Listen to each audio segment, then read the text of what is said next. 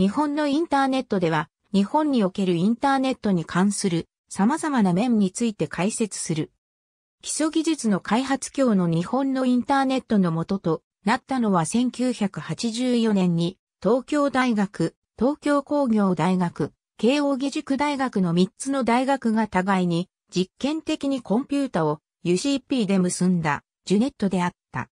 やがて多くの大学や企業の研究機関がこのジュネットに参加し、そのネットワークが広がっていった。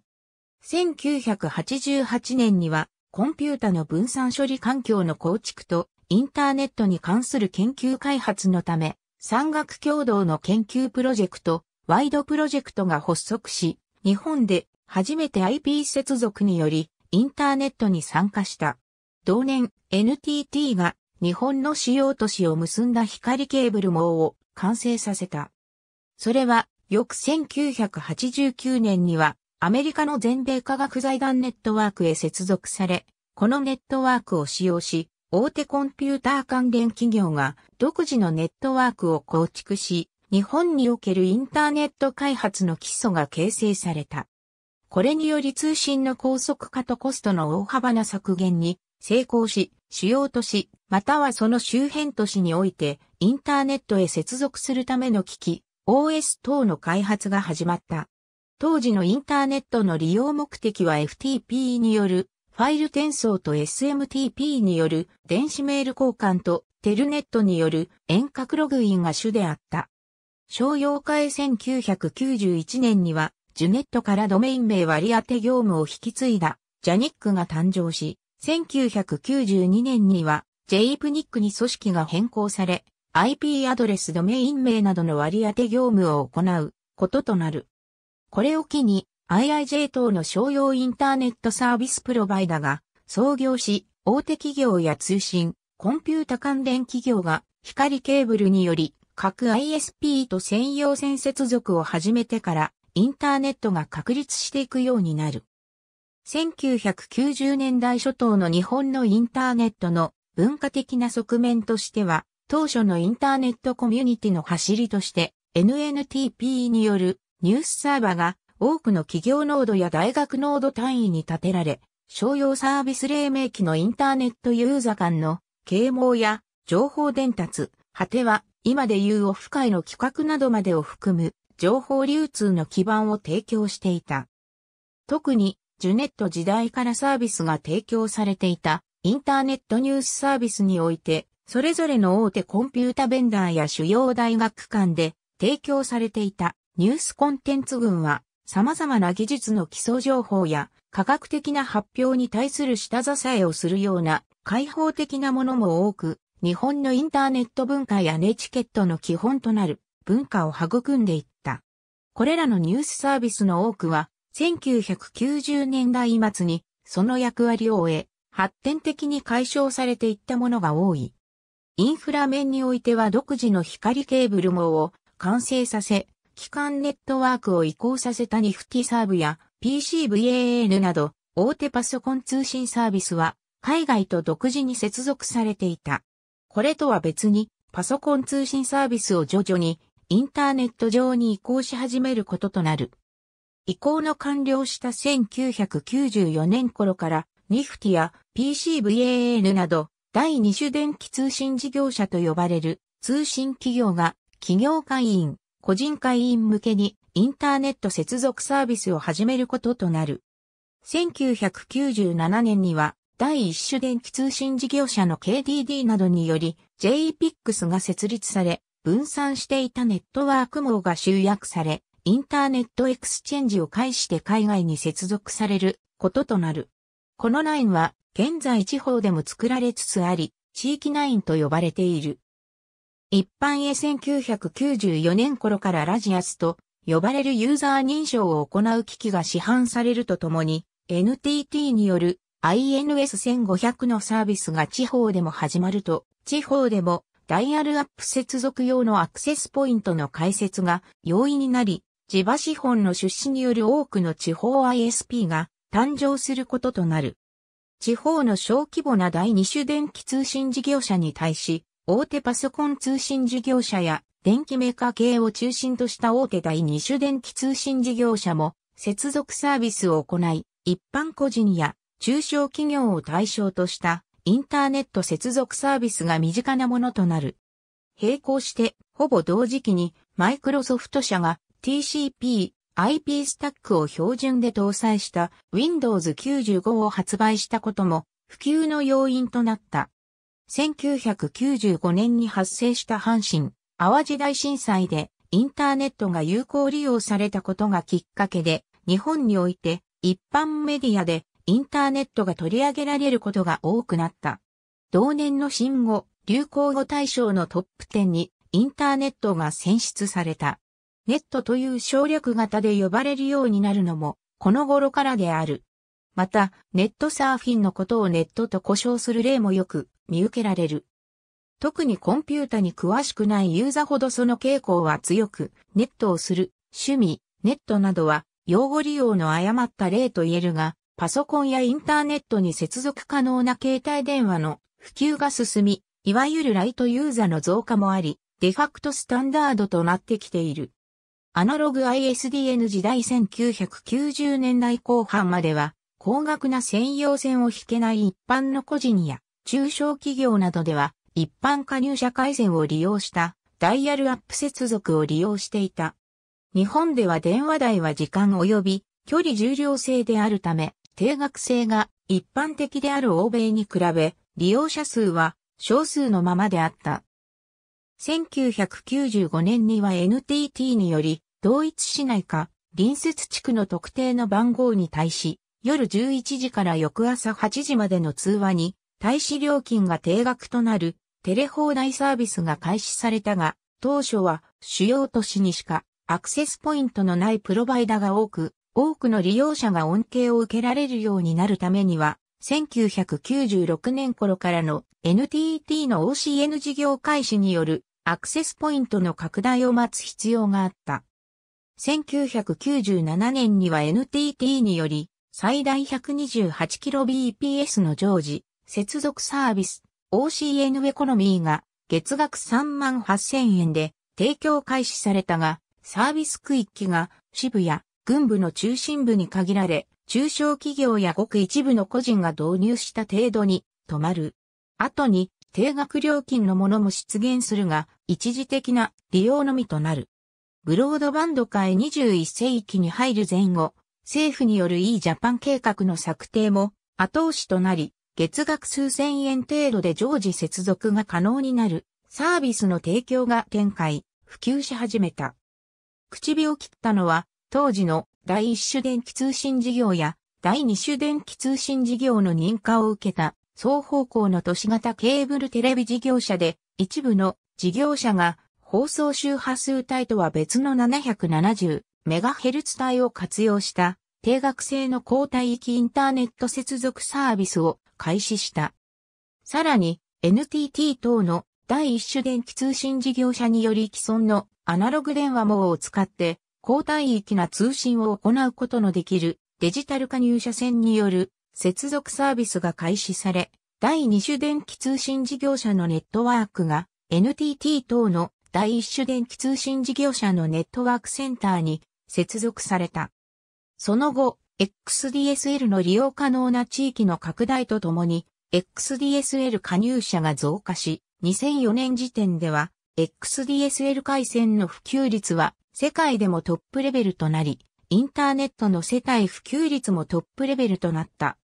2003年頃からは、月額1万円以下程度の料金で、光回線や高速化された CATV 等により、ベストエフォートでの転送速度が100メガ BPS というより高帯域な常時、接続サービスが一般向けに始まっている。2012年6月22日の総務省の発表によれば2012年3月末の段階で、ブロードバンドサービスの契約数は3952.8万であり、DSL の契約数については670.5万、FTTH の契約数については2230.3万と固定回線によるブロードバンド接続では FTTH の利用が主流となっている。また、YMAX や3.9世代移動通信システムなど、無線回線によるブロードバンド接続も増加傾向にある。ただし、これらのようなブロードバンド回線が都市部を中心に普及する一方で、地方部では過疎地などで展開の遅れが目立ち、情報格差という新たな問題も発生している。自治体によっては CATV 通信速度の高速化に伴い、官民共同で CATV を推し進めている都道府県などもあり、県によっては2003年度に全市町村で使用可能となるなど、地方での普及も急速に浸透しているが、なお対応の遅れの目立つ自治体もあり、格差が残っている。総務省の調査では、2014年末までの利用者は1億18万人、人口普及率は82.8%。端末別利用状況は、自宅のパソコンが53.5%と最も多く、次いでスマートフォンが47.1%、自宅以外のパソコンが21.8%となった。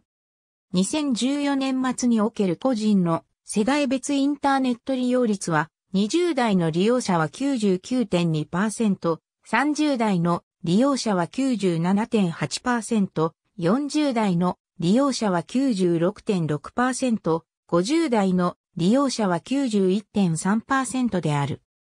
簡易的な利用 Windows 95の登場以降、主にワープロなどのオフィスアプリケーションを利用する手段としてパソコンなどの大衆化が進み、またデジタルコンテンツの遠隔地とのやり取りや電子メールの利用などを可能にする手段として、インターネットの存在自体は広く知られるようになり、初めから趣味としてインターネットを使う利用者が増え始めた。パソコンの購入理由はそれまでオフィスアプリケーションの利用を目的としていたが、1998年 iMac が発売された頃からインターネット接続自体を目的としてパソコンを購入するユーザーが増え、インターネットはそれまでのパワーユーザーのためのインフラから一般大衆化したインフラに変貌を遂げてゆく。当時の多くのパソコンには標準でアナログモデムのみが搭載されており、上記の iMac のようにイーサネットポートをモデムと共に備えるパソコンは少数派だった。携帯電話 PHS また対応携帯電話 PHS 単体でインターネットへのアクセスが可能となり、ウェブサイト閲覧やメールを利用できる環境が整備された。CHTML など移動体通信での利用環境が世界に先駆けて整備される現象も見られる。特に中高年層世代の携帯電話などを使ってのインターネット接続利用率がパソコンなどの機器と比べると著しく多くなってきている。テレビゲーム機を利用したインターネットの利用インターネットは常日のようにパソコンや携帯電話による接続が一般的であるが、テレビ受像機を表示装置とした接続も行われた。リビングでインターネットが楽しめるという触れ込みで1996年頃から家電各社はウェブブラウザや電子メールクライアントを搭載したテレビを発売した。しかし、当時の回線環境が貧弱であったこと、インターネットへの接続が非常に個人的な行為なこと、テレビに付属のインターネット機能がインターネット自体の進化に追いつけずすぐに陳腐化することなどのために、このようなテレビはほとんど売れなかった。また、テレビにインターネット接続用の外部装置を取り付けるという試みも行われた。ウェブテレビなどインターネット接続専用の装置が発売され、ドリームキャストやピピンといった一部のゲーム機もインターネットに接続する機能を有していた。ドリームキャストについては、新しい遊び方の提案としてある程度の成功を収めた。携帯型ゲームにおいても、任天堂 DS ブラウザーなどが開発された。2005年頃から地上デジタル放送開始地区の拡大に伴い、ブロードバンドインターネット接続による双方向通信機能を活かしたデジタル放送受信可能な商品の発売が始められた。また従来とは逆にパソコン側からのアプローチ手法としてパソコンにデジタル放送受信機能を内蔵した製品の発売も始められた。コミュニケーションインターネットは私的な情報発信手段としても使われる。それらは共有するコンテンツとして発信される情報とコミュニケーション手段として機能する私的な情報とに二分される。ポータルサイトポータルサイトでは検索エンジン、インターネットオークション、検証などのサービスが提供される。日本では Yahoo Japan が圧倒的な市場占有率を持つ。地域情報発信地域、ポータルサイトとも呼ばれている。遠隔医療インターネットの双方向を活かした在宅医療。特に過疎地など医師の巡回が困難な地域での導入実験が進んでいる。IP 電話 IP 電話は電話網の一部もしくは全部にインターネットの標準技術である IP を使う電話。従来の電話と異なり、回線や制御機器にインターネット技術を応用することにより、低コストで実現できることが特徴である。電子商取引インターネットを利用した商取引の形態。電子カタログ商品のカタログをウェブサイトに置き、紙のカタログ代わりに利用する。電子商店街や通信販売サイトでは商品の注文も可能。ネットオークション、列車や飛行機の座席予約もこの流れ。インターネットバンキングインターネットを通じて預金の出し入れが行える。実店舗を展開しないネット銀行も現れている。インターネット証券取引インターネットを通じて証券取引所に上場する株式の売買が可能。電子政府政府、自治体の窓口業務、閲覧などを行うことができるほか、電子申請の取り組みも進んでいる。ただ、東アジア各国の電子申請などによる業務効率化の水準を比較すると、日本の電子政府化は昔の中国の人海戦術に近い非効率さであり、先進国でも最も遅れている部類に入る。特に生活に必要な各種官庁系帳票類の発行や許認可業務などは官庁の聖域として完全自動化、コンピュータ化の推進を役人が拒んでおり、小泉、安倍政権において課題となっていた。一方、情報公開に関しては比較的コンピュータ化が順調に進められており、現時点で多くの情報公開業務に関し、システム開発が進められている。また、申請における業務でも、比較的多くの人間が利用する納税なども、システム化が進んでいる。情報公開、検索の例としては、レセプト公開システムや地理に関する地理、情報クリアリングハウス及び、電子国土ポータル、国立国会図書館の蔵書検索システムなど、比較的システム化しやすいものから提供されているほか、電子政府の総合窓口に各府省提供の個別行政分野データベースとして取りまとめられている。自動翻訳機械翻訳とも言うが日本語の場合、英語などの欧州系言語とは言語間の関係が遠すぎるため、欧州系言語との自動翻訳は人間の手による出力結果の修正とセットでない場合、実用の域に達していない。出先からのインターネットの利用 IT スポット、いわゆるブロードバンド接続が実用化され始めた2000年頃から都市部を中心に有料で自由にインターネットへ接続されたパソコンを利用可能なインターネットカフェや漫画喫茶が増加している。ホテルの客室に LAN が引かれ持ち込んだノートパソコンを接続口に接続すれば、自由にインターネットへ接続できるサービスを行う施設が増加している。その他無線系のアクセス方式として、なども拡充され始めている。インターネット上では誰でも自由に情報を発信することができるため、しばしばデマがルーフされることがある。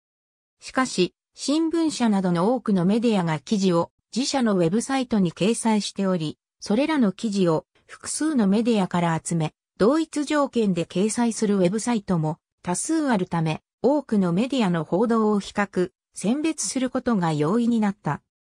インターネットが普及し始めた1997年頃から雑誌やテレビコマーシャルなどに URL を表記するというものがよく見られるようになったが、最近ではテレビコマーシャルなどで、で、検索と検索キーワードを表示するものがよく見られるようになった。なお最近ではコマーシャル以外でも見られるようになってきている。日本に限ったことではないが、インターネットの普及に伴い、ネットを利用する犯罪も増加、モラルパニックの判例の一つになってきている。非合法な依頼を請け負う目的のウェブサイトが制作され、社会問題に発展している。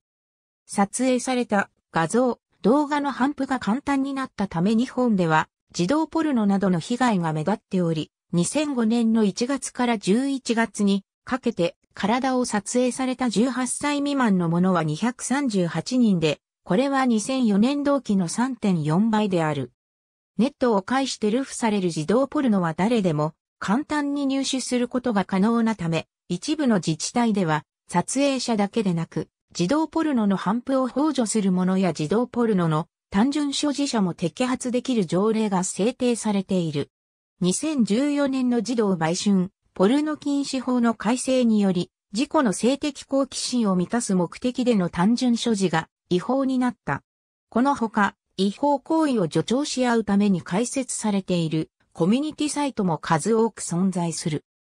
また、子供までもがインターネット犯罪の被害に遭う恐れがあるため、学校ではインターネットとの付き合い方を教える授業が行われたり、各所でフィルタリングソフトの普及が図られているが、授業内容が万全でないなどこれだけで対応するのは限界があるとの声も多く、インターネット自体の大幅な規制も危惧されている。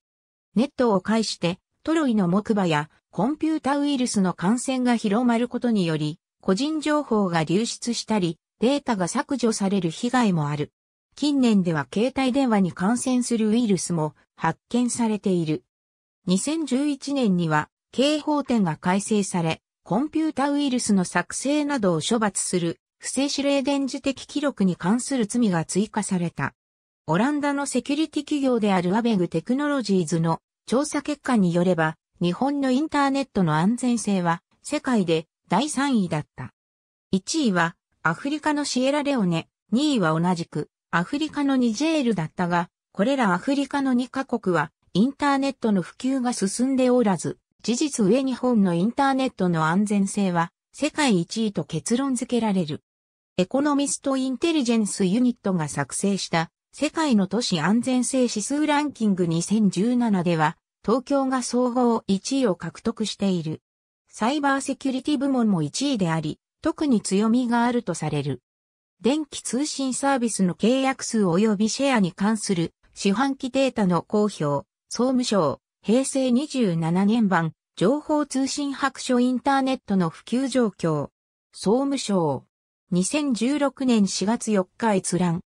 日本のネット安全性は世界で第3位最も危険なのはトルコ、アベグ調べ、相手メディアニュース2010年8月25日、政府シティーズインデックス2017、エコノミスト、2017年11月7日閲覧。ありがとうございます。